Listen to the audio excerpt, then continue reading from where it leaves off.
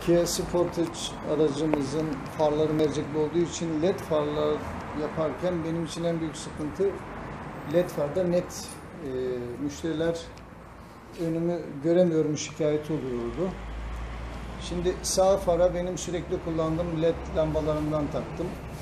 Sol fara da yeni nesil mecburen fan soğutmalı led taktım. Daha canlı, daha güçlü ışık versin diye. Hemen karşıya da bir yansıma e, tahtaları koydum. Sol taraf gördüğünüz gibi fanlı led, güçlü power led. Sağ tarafta benim standart kullandığım. Aradaki farkı bu şekilde gösteriyorum. Yani e, mercekli farlı araçlara da led far uygulaması e, yapacağım. Xenon e, genelde tavsiye ediyordum ama bu sonuçtan sonra e, led far uygulamasına e, mercekli farlara devam edeceğim. İşin bitişinde bu çekimin devamını tekrar yapacağım.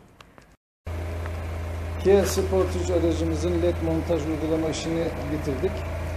Ee, gündüz farları led takamıyoruz arıza verdiği için dengesiz oluyor ve mavi kafa lamba kullandık ona.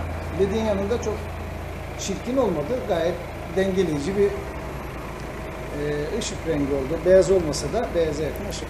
Gayet güzel bir uygulama oldu. Buna canlı, güçlü ve fanlı ledden kullanmak durumunda kaldık. Canlı, güçlü ışık alalım diye. Gayet güzel oldu.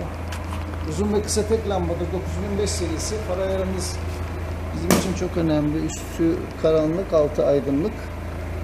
Gayet güzel bir uygulama oldu. Kia Sportage aracımıza LED far uygulaması yaptık. Güle güle kullansınlar. Bu tür uygulamaların satış ve montajını yapıyoruz. Video altındaki iletişim bilgilerinden bizimle bağlantı kurabilirsiniz.